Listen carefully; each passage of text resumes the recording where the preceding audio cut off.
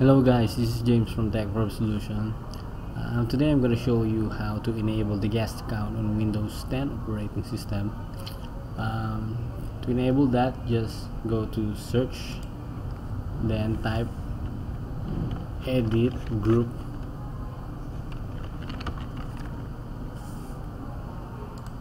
then just click this edit group policy then it will show the group policy MMC then just go to um, Windows settings then security settings then local policies then security options then you can see account guest account status then double click that.